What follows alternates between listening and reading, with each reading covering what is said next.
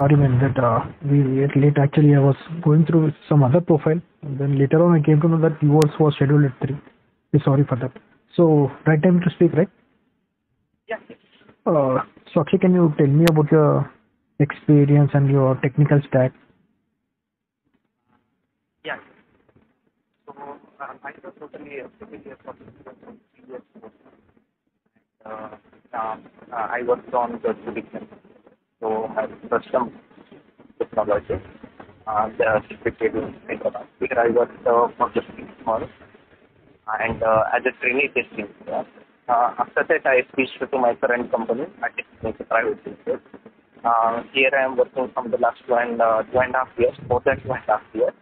And uh, here my role is like uh, Java full stack developer, uh, where uh, um, where I will uh, in, this company the roles and responsibilities like uh, we are the partner developers for the Freshworks company, Hmm. uh, and uh, uh, and uh, uh, so Freshworks is a product-based company uh, which has their own products, uh, like these 10 products they have, and they have their own customers.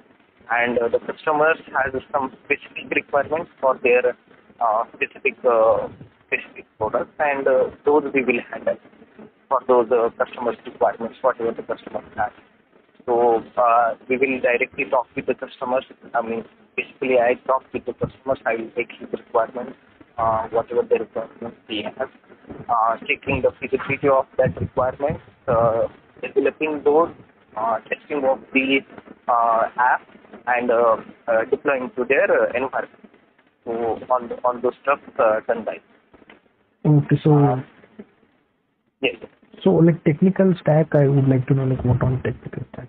Yeah. So basically, the Freshworks uh, provide us the platform feature uh, where we can develop the app. So uh, Fresh uh, uh, Freshdesk uses the Node.js platform. They have their own uh, command line interface uh, where we can generate the structure. So I I used here uh, for their platform features. Uh, I used the Node.js, jQuery, uh, JavaScript, HTML, CSS, and uh, Bootstrap for developing the app and uh, suppose some some of the requirements are like that. Their their platform won't support. I mean, Freshworks platform won't support. For uh, those purposes I use the um, I use the middleware part like uh, Java Java as a programming language and uh, uh, Spring Boot framework to develop the REST API. And for the server side uh, uh, means when I deploy when I uh, develop the app uh, by using the Java and uh, Spring Boot. I, I, I will deploy that one on the AWS server. And uh, for the UI purposes, I use the Angular Angular? What is it? 8. Eight, oh, Eight okay, 8 was. Yeah, yeah. So, okay, how much do you rate yourself in Angular out of 10? Uh, out of them, I'll rate myself as a 6. Okay. Or on Java? Uh, Java, I'll, I'll rate as a 5. Um, I have to learn a lot of things. Mostly in the in this company, uh, I did I, I worked on the Spring Boot framework where I generated uh, means uh, where where I uh, created the REST API myself and worked with the REST API. Okay, fine. Uh, how much do you rate yourself in Spring Boot and REST? Um, but there I uh, give like seven to eight. Uh, so, what you have done in Spring Boot? Uh, so uh, um, basically, I created the REST APIs uh, to talk with the uh, database, fetch the database uh, from the data, and uh, talk with my uh, Freshworks platform. Uh, so, like uh, uh, you can say, uh, I'll just give, give an example. There is one app I, I uh, created uh, for the HUL Hindustan Unilever sector, Hmm? uh, where uh, the uh, Freshworks platform won't support. Uh, so that's why I created a uh, in the in the Java I created the REST API and uh, they have their own database, the HUL. So that database uh, I mentioned in the MySQL side. Um, uh, previously they are using the Excel sheet and uh, um, by uh, finding the Excel sheet and filling the data. But uh, now on the process uh, uh, I did it totally uh, automatically. Uh, so uh, there all the Excel sheet data is in now in the database and uh, they can do all the CRUD operations using the Angular UI and uh, by using the REST APIs, I can fetch that data and uh, fill the whatever the forms they have. Uh, so the customer will fill only the three fields, all other fields uh, filled by the me, taking the data from the data. So uh, mostly I work with the REST APIs like create, post, delete, and put. Mm, okay. So you are giving Java 5 only. So how do you connect uh, to DB using uh, like using Spring Boot? Uh, so uh, here I use the JPA uh, for the for this purpose.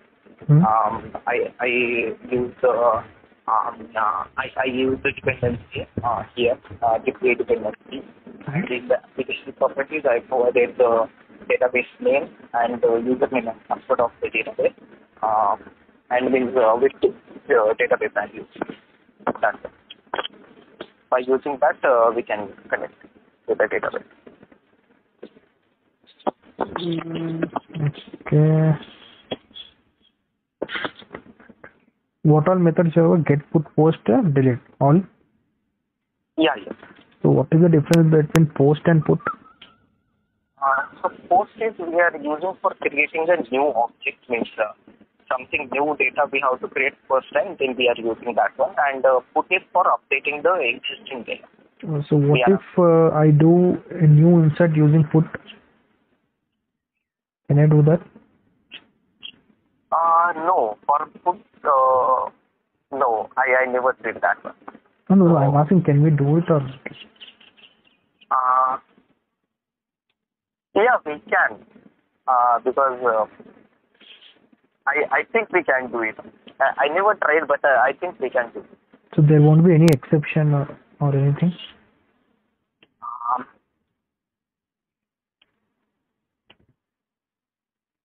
no, uh, no. Uh, see, uh, in, in in in my- case, what will happen? Uh, like, uh, uh, whenever I will do a post call, the ID will be generated, and for that ID, I'm doing a put call.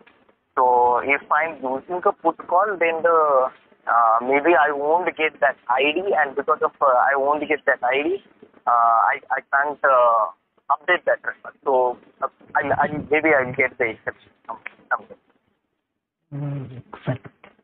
Yeah, I, I never tried this one, so I'm not sure, but uh, uh, I'm I, I'm thinking like this way, like the, because uh, the idea I'm not getting, so I get uh, issues.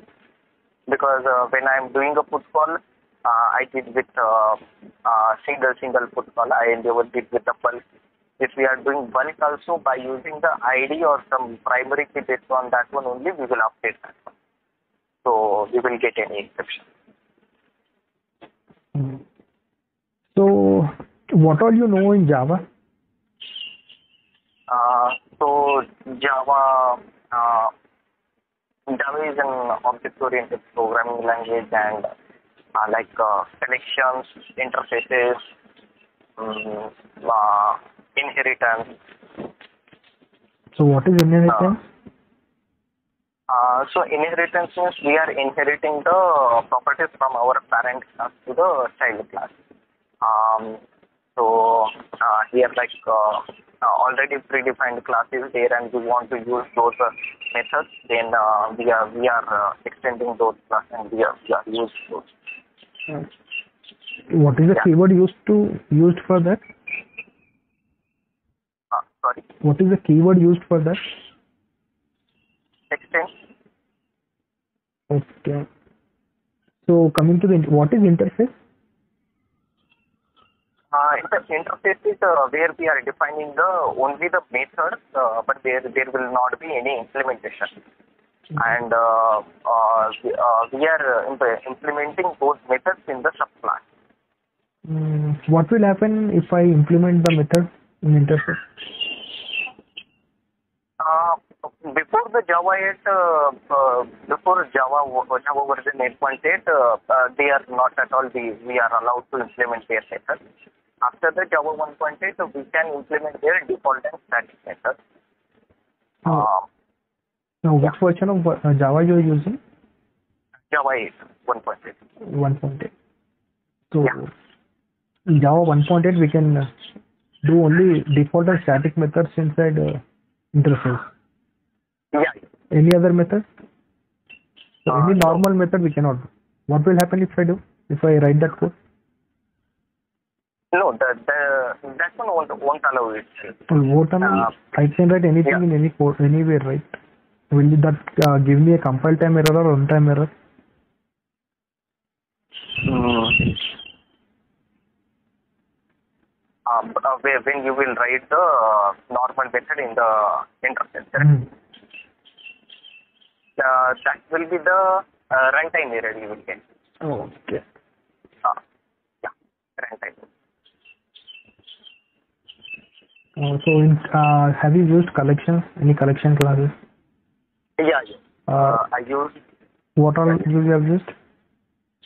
Uh, so I, I use the basically I use the array list and uh, link the hash map. Uh, means uh, uh, where, when I am uh, working with the Freshness APIs, uh, uh, basically they, they use link the hash map to it. So fetching the data uh, by using that one, uh, I use that one.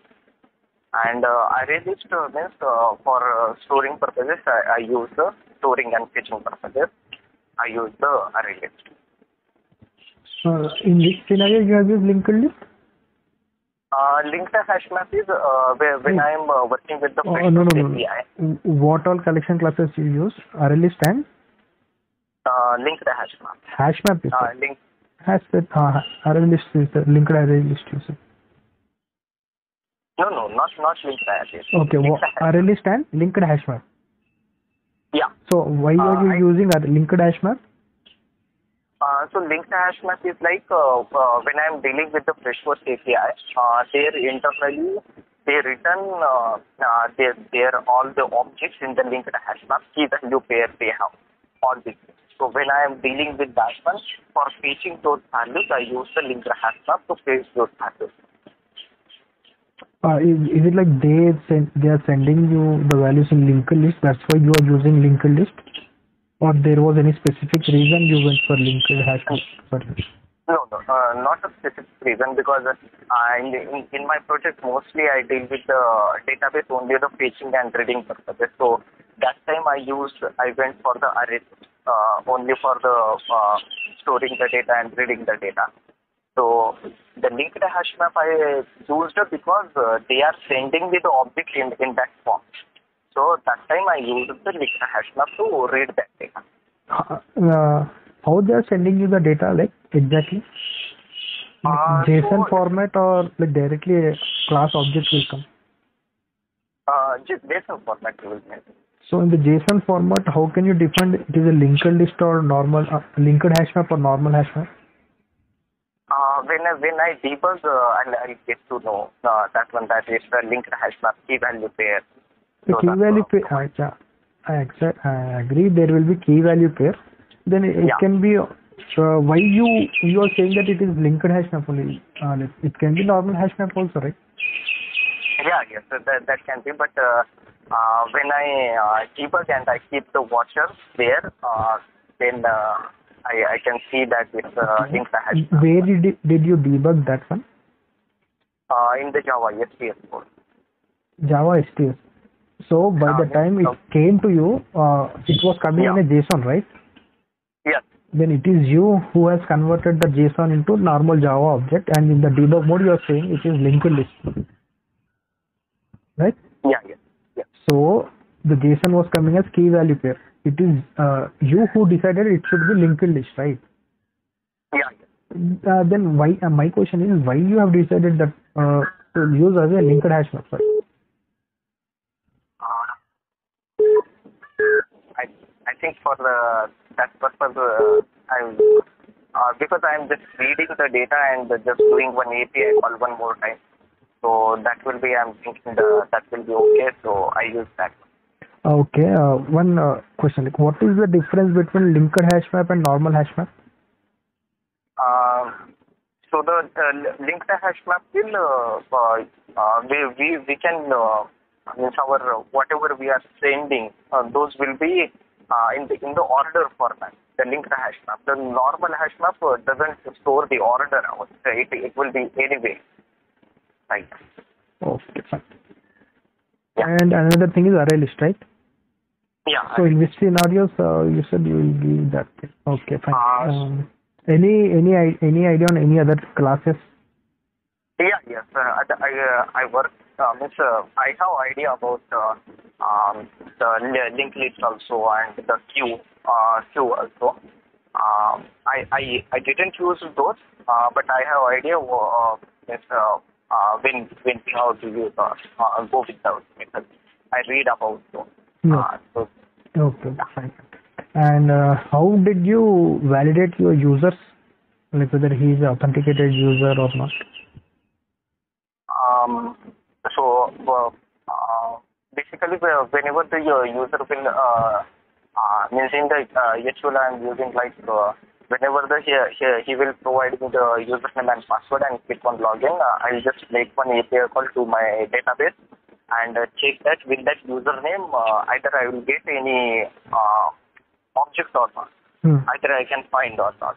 Then I'll I'll check the password also should be matched with that one and uh, by, using this one I I'll I did I I Oh, oh, so you're directly using uh, the uh, storing the username and password in database. yeah yeah Oh. There is nothing like uh, encoding or decoding. uh, no uh, because this uh, HUL whole the database is from their side and uh, they are okay with that one and uh, when previously we we discussed with them uh, there is no username and password for them because uh, they say it's totally internally purposes they are going to do. Uh, just recently I developed them because uh, now they want only for the some uh, admin users want that one. So that's it. Uh, so for uh, for these purposes, I use the Spring Security uh, to uh, restrict all the APIs and based on the role provided them. And here, while doing the password password thing, I use the uh, uh, there is one uh, predefined class uh, where we can encrypt the password and store in the database. Oh, but uh, the database is theirs, right? So there also you made the changes. Uh, sorry. Uh, you said the database is uh, you are you are getting your database from your client, right? Which was an Uh, existing no, one. no. So Huh? the MySQL database I am using, but uh, the server is from their side. Server, whatever the server, uh, once I develop the code, I will send to them, and uh, they will deploy on the their AWS server. So uh, the database uh, username and password they provided me, and uh, I'm using MySQL one. Okay. So you worked uh, you worked on Angular, right? Yeah, so so can you tell me like what is the difference between like ng on init and uh, constructor? Um, so uh, NG on init is uh, on on the initialization it it will be called uh, uh, one time called uh, that one, and uh, whenever the first time it it, it will be loaded that time, and the constructor uh, we have to call the constructor. So without constructor getting called, uh, so we cannot call ng on init. Uh, yes, so, uh, without constructor getting called, uh, we cannot call. So Yeah, what is the purpose of constructor here then? If we are initializing everything in ng on init. Yeah. Uh, in the in the in the constructor, uh, we will uh, give the basically in Angular in the in the in the construction we will provide the uh, whatever the model name for services name we will uh, provide uh, for that purpose. We will create a variable there, and those variables we will use for the classes to call call like. Uh, uh, router variable is there, then we will uh, define in that constructor private of router of router. So that based on that router, we will then call wherever we want that one, like dot router some that method.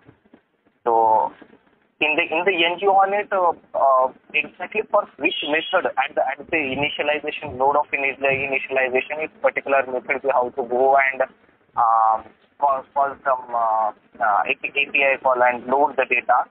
So that time we will do that uh, based on in the in the because the first time on the load it uh, it will be to be recorded. Okay. Mm. Like, uh, can you tell me some differences between promise and observable?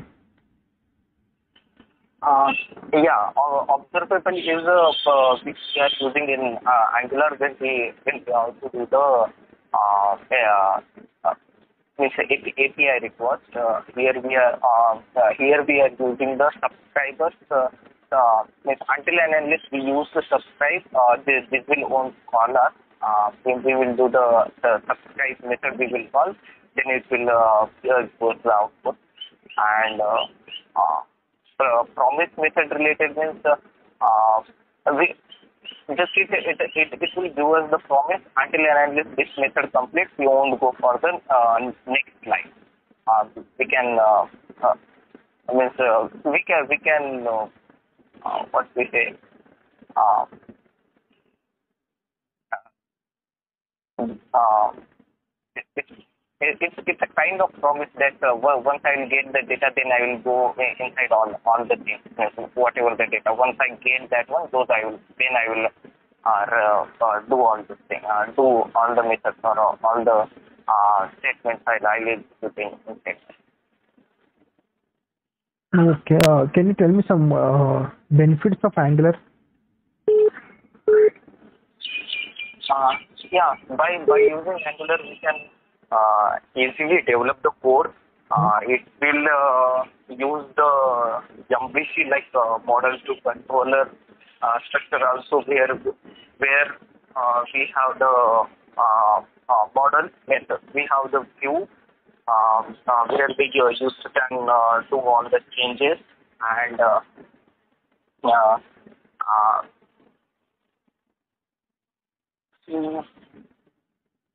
um, the Angular also uh, developed by the people, so it, it, it will be very updated, updated. And by using Angular, we can do uh, all the stuff very easily. It's Angular user interface API is there for creating the project structure, or there is also CLI also there, command line interface. By using you can easily generate your project and uh, you can add more dependencies.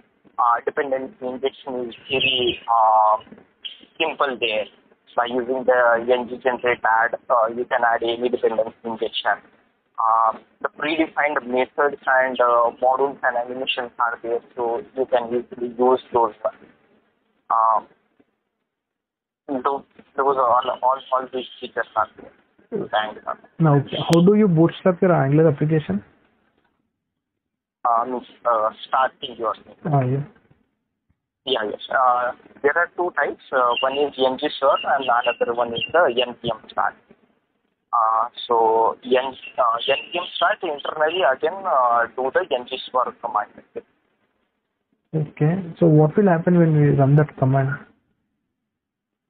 Uh, so uh, whenever we will do the ng start, uh, it, uh, um, it will compile our code. Uh, it will go to the first index.html page. Uh, in the from index.html, we will um, call the app app root of selector one. Uh, from there, it will go to app root. In the uh, from the app root, if we called any of different model or uh, whichever component we called, it, it it will go to those components. Okay. Uh, any any idea about lazy loading? in Uh, uh, I just uh, read about that one, but uh, I don't know. Ah, okay. Now, what is the lazy loading? Uh, lazy loading means it uh, it uh, it, uh, it it will be load very slow. I, I'm I'm not sure. Means I read that one, but I'm not remembering it.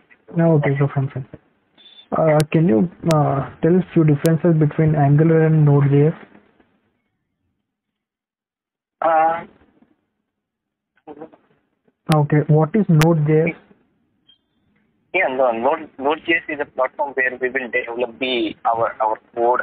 Uh, it it will provide us the structure. Hmm. Uh, for uh, Angular, we need a node, uh, Mhm. the npm versions we need, and uh, all all these things we need. Hmm. uh, there also. Uh, the distinguishing is uh, the node, the Node.js purposes uh, we will use for the uh, complex development also we will use the Node.js and it's a backend language Hmm. and uh, uh, Angular is the front-end language where we can uh, uh, show the user what what the features they want, and we can write uh, behind all the server-side code in the Node.js. Okay. Uh, so one question like uh, uh, you are using JPA, right? Yes. Okay. Okay. Fine. You are not using anything like Hibernate or any other. Only JPA used. Yeah. Yes. I, I use that. Okay. Mm. I'm going through. Okay. Oh, how do you test uh, your uh, services? Um, so by using the Postman, Oh. um, is is it working or not? Any other way we can test? Uh, there is like uh, Google also provide us uh, like uh, advanced uh, uh, ADM or something, uh, advanced uh, re- response. Uh, well, one ADM or something is there. I am not remembering it full form, but uh, that one also there, and uh, post bin is there, request bin also there. So by using those uh, stuff, we can check uh, either working. Okay. How many people are there in your uh, uh, team? Uh, 10 people. 10 people. All developers. Yeah. Uh, eight are developer, uh, two are kind of tester plus developer. So you follow Agile or any waterfall model? Uh, no, here uh, basically uh, uh, we will do the integration stuff. So uh, uh, here, here is like uh, no agile model or something. Uh, from the uh, uh, all all the developers will do their uh, own own projects and uh, they will work on. Yes.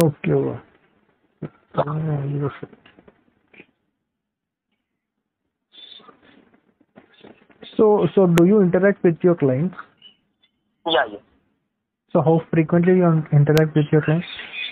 Uh, you can say daily basis. Daily basis one call I, I will have with the client, either the client or with the Freshworks team, and uh, uh, we will take the requirements from the. Uh, with the client, uh, uh, once we will take the requirement, uh, most of uh, after that we will talk with the Freshworks. Uh, that also our client only Freshworks. Mm. But with those people, uh, if we have any dice, they, those people, with those people, we will uh, then deal with those people, and uh, they will clarify. that. Okay. And uh, one or two times, uh, uh, first time when when we are gathering the requirement, first time we will directly have the call with the client, and uh, when we are giving the demo, that time uh, uh, we, we will have the the. Mm, good. Uh, have you written JUnit? Uh, no, the unit test it. No, have not written. We, we people don't write that one. Uh, no, uh, those many big projects are not there, and mostly we will uh, uh, test uh, our, our test cases. So, you want. Okay, okay. Okay, actually, that was from my end. Uh. That was nice talking to you. Thanks for your time. Yeah. Thank you. Okay, thank you. Joe.